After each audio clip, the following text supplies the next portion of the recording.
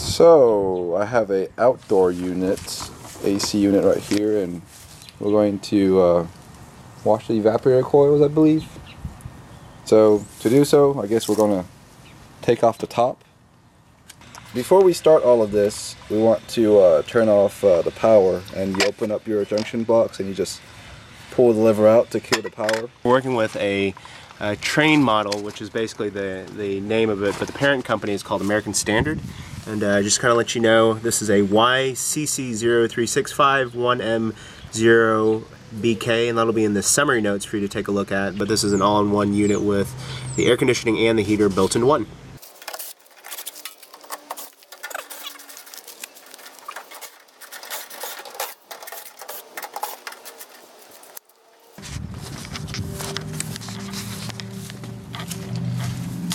So as we uh, lift this up, there's the fan right here.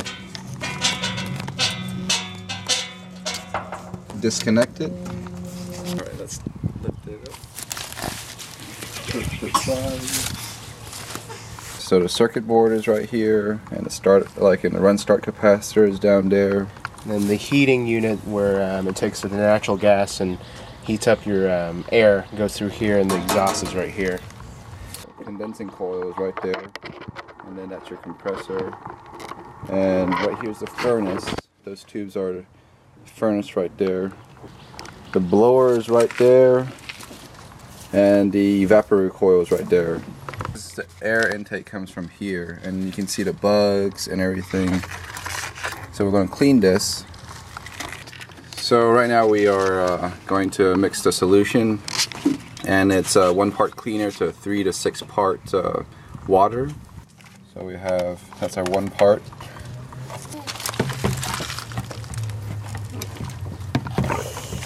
So that's about one to four or five part.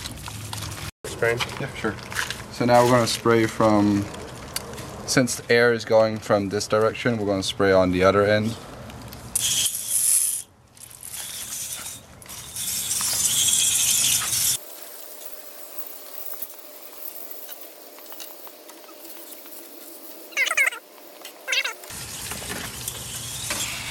Then you can spray the other end from an angle. Yeah, that's. And you just want to fully saturate the evaporator coil. And you want to roll the dirt off.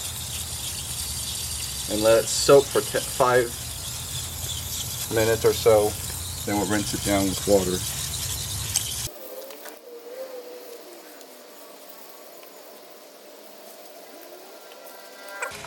Since we still have more solution, we're just going to go ahead and clean the um, condensing coil as well too.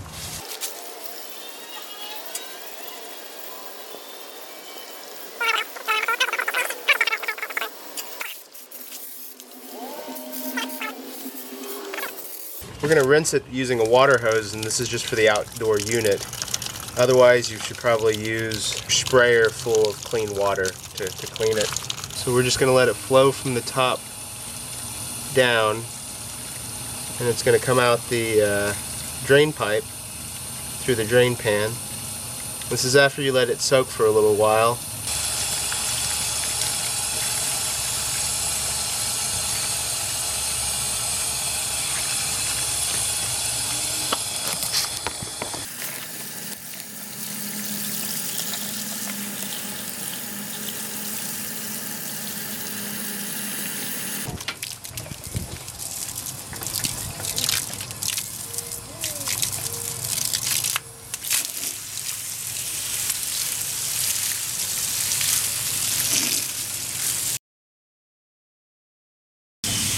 For condenser unit damage. Oh, okay. You know, you have like six or seven bumps here. So this is the end result of the evaporator coil, and it's extremely clean compared to before. Uh, so, uh, and the condensing coil is also a lot cleaner right now.